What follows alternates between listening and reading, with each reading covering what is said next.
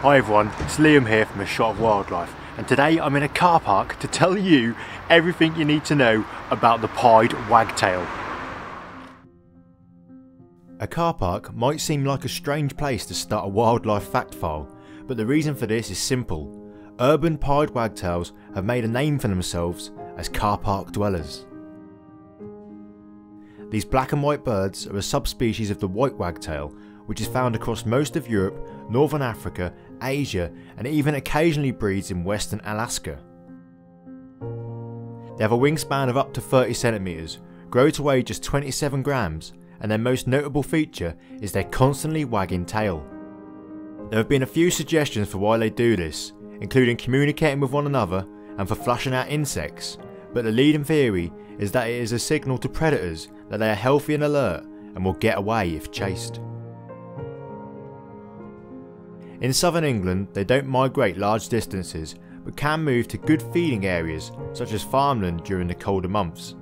For the rest of the year, they can be found in pretty much any open habitat, including parks, beaches, wasteland areas, and along freshwater courses. The birds from the more northern part of the country do migrate in colder years and have been known to travel as far as Africa to spend the winter.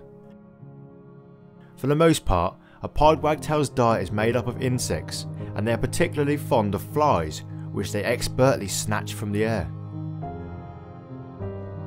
They will also feed on seeds and scraps where invertebrates are in short supply.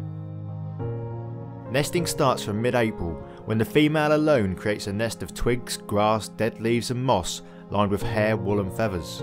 These are often in rock crevices, hollow trees or holes in walls, but they'll also nest directly on the ground and sometimes on top of the abandoned nests of other birds.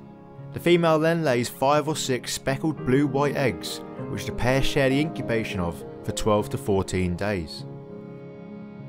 After the chicks hatch, both parents feed them in the nest until they fledge at around 2 weeks of age.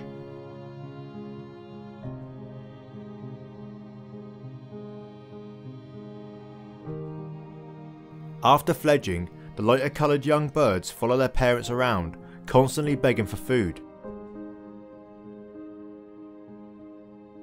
This lasts for a further 2 to 3 weeks, after which point the young move out of the territory and the parents start nesting again. Each pair can have 2 to 3 broods in a year, although those in upland areas may only attempt to nest once in a season. Pied wagtails have a long history alongside people, and as such have developed several nicknames over the years. These include Penny and Polly Dishwasher. It's thought that this was given to them as they would often be seen in the same areas where people would wash their pots and pans before homes had running water. In the winter in urban areas, pied wagtails can form really large overnight roosts of up to 3,000 birds. Unfortunately, I can't show you this as there are no copyright free images on the internet, but it's worth a Google. There are currently around 470,000 breeding pairs of pied wagtail in the UK, and they are one of the few species whose numbers are actually increasing here. In the wild, they have an average lifespan of 2 years, but one bird was recorded at 11 years and 3 months of age.